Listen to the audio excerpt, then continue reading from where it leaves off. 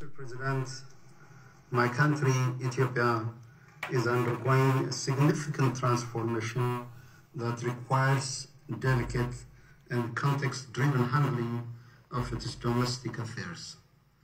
In our bilateral meetings with members of the Council and the informal dialogue we had last month, we have exchanged views and concerns, all of which the government of Ethiopia approached and acted upon in a constructive manner. This being said, Mr. President, I'm surprised by the rationales of calling for this open meeting. We are fully cognizant of the responsibility of this Council to work towards international peace and security. The very first requisite for this onerous responsibility is to encourage dialogue and prevent escalation through constructive engagement and reinforcement of achievements. This meeting is called at a time when the government of Ethiopia took bold measures and political decisions to meet the needs and well-being of, of its people affected by the law enforcement operation in Tigray. This measure should have encouraged our friends to give support and de-escalate the unhelpful pressure. Equally, all of you for recognizing our resolve for peace behind this difficult initiative we have taken. Mr. President, since the Council held the informal interactive dialogue on the humanitarian situation in Ethiopia, there are critical developments that deserve your recognition and constructive outlook.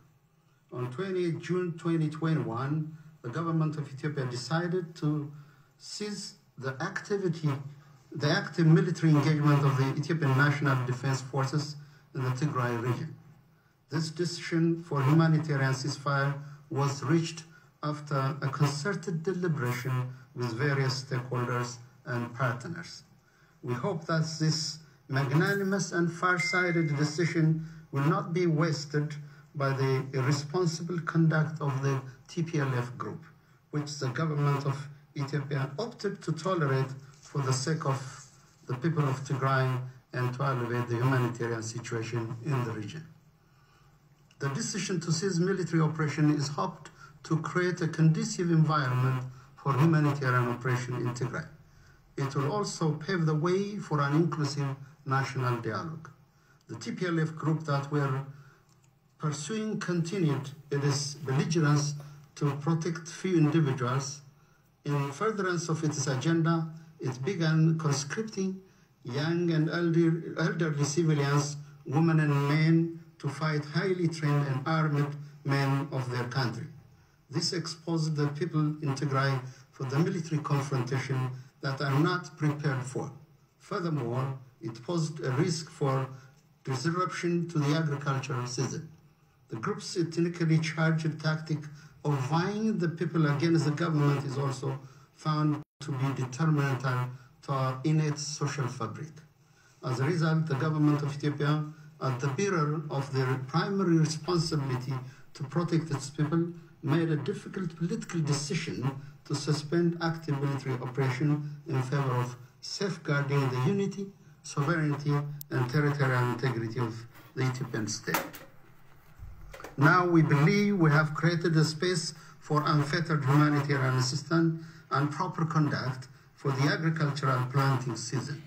In addition, we will augment humanitarian efforts in the region, including distribution of food and non-food items from warehouse across Tigray. The National Disaster Risk Management Commission and the five humanitarian agencies deployed in all woredas of the region are set to resume their function. Furthermore, we are in the process of adapting the humanitarian assistance guideline and coordination mechanism to the new development. Public services will also resume once we create a situation for the safe operation of the infrastructure and their operators. Mr. President, Ethiopia faces the inevitable journey of addressing the political and structural underpinnings of what we had experienced last November when our defense forces were attacked from within. The immediate need lies in creating an environment for the delivery of much needed humanitarian assistance. In this regard, The government will continue to exert maximum effort and allocate the available resource toward this end. We welcome and appreciate the concern expressed by the council members of for our compatriots in Tigray who have regrettably sustained the burden of the impact of the law enforcement operation due to the cowardly tactics of the TPLF group. It is important to underline that wounds and sufferings of all Ethiopians are unacceptable. The shortcomings in preventing these sufferings are not something the government belittles. In the same vein, we, took, we take our responsibility to ensure accountability and remedy these problems with maximum seriousness. For absolute clarity, I would like to reaffirm my government's firm commitment to these core responsibilities of the state. There certainly are internal as well as external factors that play into the security challenges we are facing.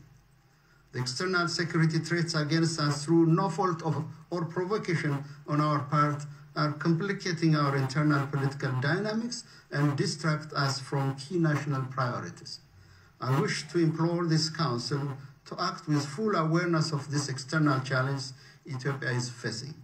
Mr. President, following the organization of peaceful and successful national elections this month, efforts are now geared towards building a stronger, united, and democratic country.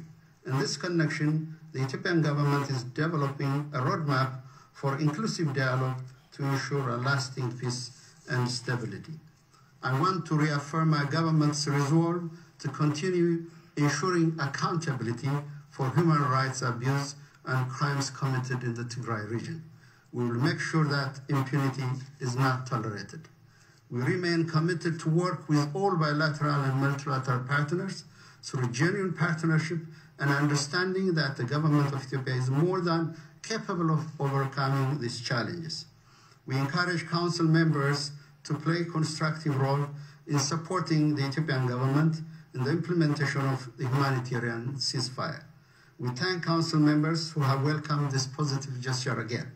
In contrast, I would like to make it clear that the political pressure and hasty bilateral coercive measures against Ethiopia are unacceptable and violate basic tenets of international law.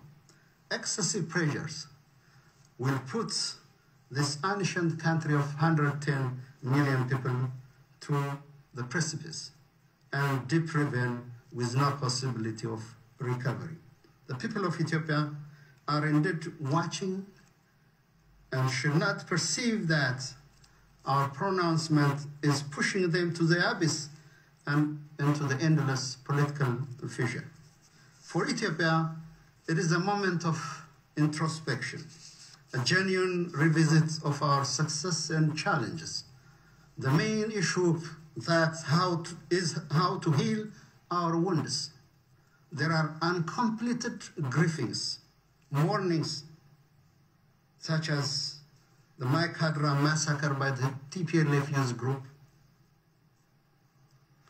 the suffering of the people of Wolkite and Tagali, who have been evicted from their ancestral land over the last 30 years.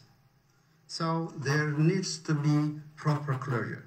The political culture of impunity should have closure. Was, we know that what exalts us as a nation is to overcome our own challenges. What would elevate us as a nation is our commitment and the commitment of our people to stand for peace. We might be poor, but we have also hope. We are people of people with values, cherished ones. For Ethiopia, hope is still alive. In conclusion, I hope council members will take uh, the situation in my country in the right perspective, understand the magnitude of the challenge we face, and also recognize the important step that we have taken in this regard. What we really need at the moment is the support, understanding, and solidarity of the international community. That's why I want to end by appealing to international partners and friends of our country to continue scaling up humanitarian support to meet humanitarian needs across Ethiopia. I. Je remercie le représentant de l'Éthiopie de cette déclaration. Il n'y a plus d'oratrices ou d'orateurs inscrits sur la liste. La séance est levée.